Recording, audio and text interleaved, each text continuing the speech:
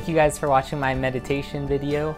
A lot of what I do is uh, just trying to keep busy and keep my mind off of depression.